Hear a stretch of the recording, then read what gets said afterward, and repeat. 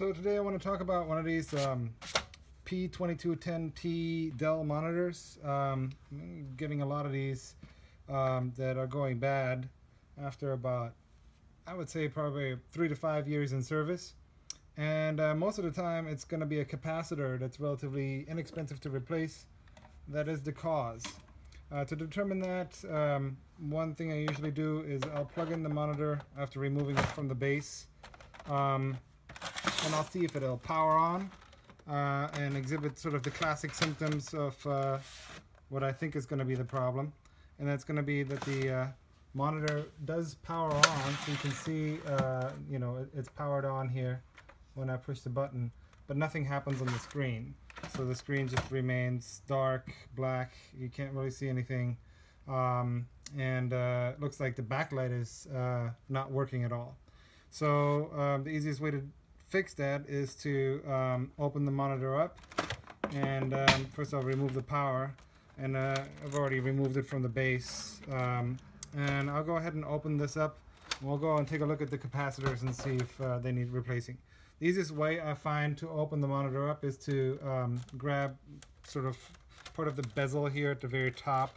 Um, you can just find an edge here um, that's going to be uh, easier to remove than others and just push really hard um, until you get some of the base to come off. Um, so you can see here, um, there's like a little gap now, and I can start to pull um, the bezel off. So I'm going to continue doing that um, around. If you like, uh, sometimes you can use a pry tool to help um, with it, but I usually just find that, you know, using some pressure on your fingers works best. So I'll go ahead and remove this and speed up the video a little bit.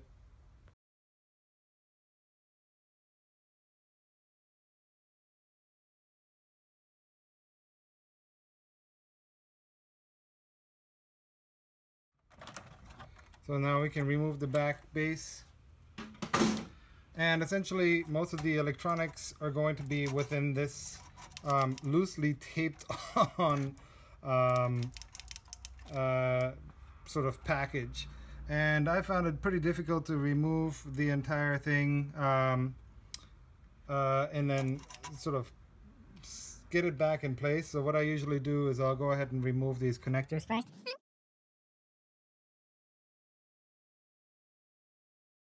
All right, so um, actually found out that um, removing the one connector on this side here um, it's kind of a pain in the ass. So I'm gonna leave that one in. Um, I've kind of uh, cleaned my work first surface so it's clean. I don't have any like large particles on there that can scrape my LCD.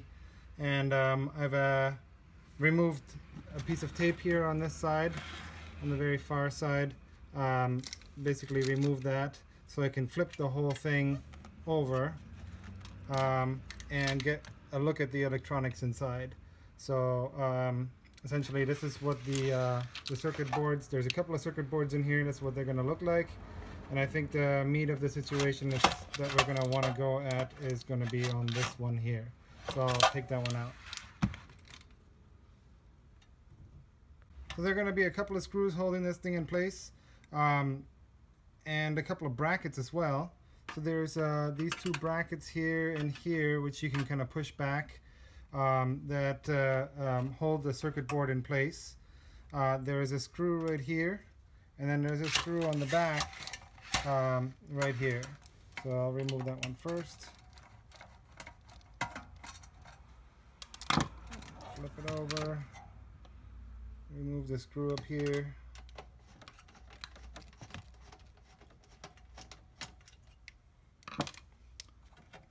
And so then, yeah, it's going to be a matter of sort of jimmying the thing out of here. Oh, I'm sorry. There's two more screws that are um, holding this plug-in, so you'll have to remove those.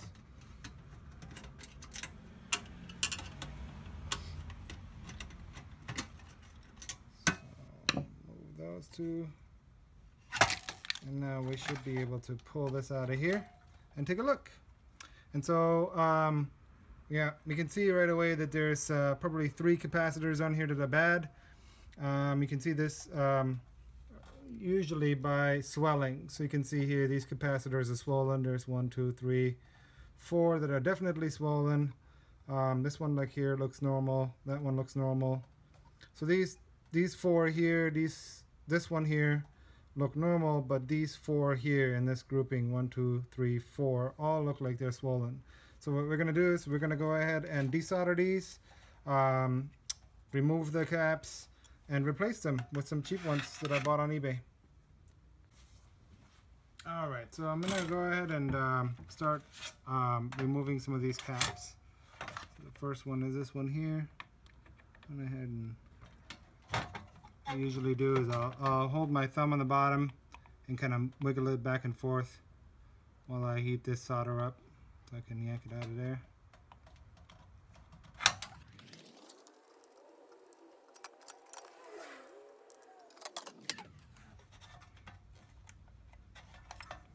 And there's our first one uh, desoldered here. And so the way to read um, the way to read these uh, capacitors is essentially um, on the side there's going to be um,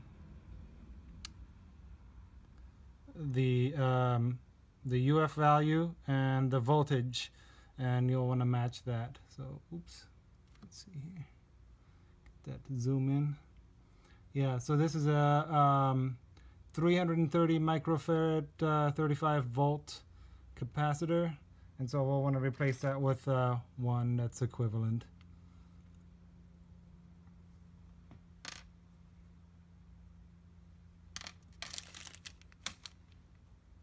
Alright, so I've removed all my four capacitors that were causing, that were swollen. So there's the three areas where they were. Um, one thing to note is, um, so here's the, um, the old ones. Um, one thing to note is that the, the way the circuit board is marked here is you'll have um, a white area and a sort of uh, clear area. Um, you'll want to go ahead and line your new capacitors up such that the um, the the wire that comes out of the white area uh, goes into the the white portion. So um, usually the way I install them is I'll go ahead and thread my new caps through um, the proper holes so that they're um, they're sitting in there, and then I'll solder them in from the other side and trim the wires up. So um, I'm go ahead and place them all in in the proper order they were. Make sure that the, uh, the white signs of the capacitor is all lined up to the white side of my circuit board marking and then I'll get soldering. So after attaching my uh, capacitors um, to the circuit board, I fold back these wires usually just to keep them in place and so I have an easier time soldering them in and um, then I just you know I'll go ahead and solder them in and uh, and we'll go ahead and uh, test it up. So reinstalling the circuit board is um, just a tiny little bit tricky. There's a notch all the way up here.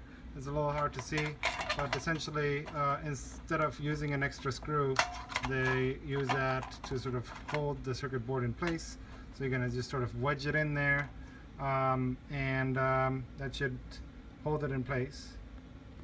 Alrighty, so I've got my connectors um, for the um, backlight um, connected back. I've got uh, my USB connector still connected on this side here, uh, which I never disconnected. And uh, we never disconnected this uh, cable either. We just sort of folded it over with the tape um, that holds it in place. Um, and uh, essentially now that we've got this thing sort of loosely back on here held in place by tape and cables. Um, we're ready to um, power this thing on and see if it actually works. I'm to put my frame with the power button over here um, and just kind of tilt up the LCD so that we can see if it actually works. Plug in my power um, before I assemble things back. So I'm to go grab my power cable which is right here and uh, plug that in here and um, I'm gonna go and make sure our power is turned on. Uh, there it is. I'm gonna look at our screen. And you can see here um, that it's already working because I have a um, I can see the uh, the input selections right there. So the LCD is up and running now and it's working and has been fixed. So it's got a backlight uh, it's good to go. We're gonna go ahead and put things back together and that'll do it alright so now we're just gonna connect the uh, monitor up to some power and uh, DVI cable make sure everything looks proper I'm going to go ahead and connect that up.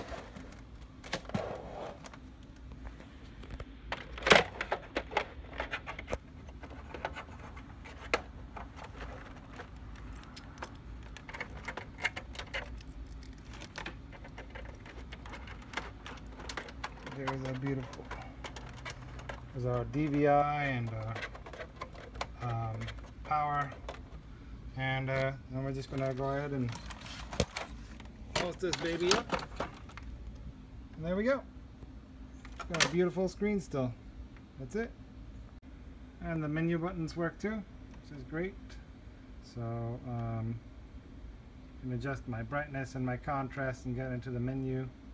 Um, but yeah, that's essentially all you need to do with these monitors is replace those four capacitors. And uh, maybe clean it up a bit, a little dirty, but other than that, it's a brand new good garage monitor. Um, so that's all I have. Have a good one.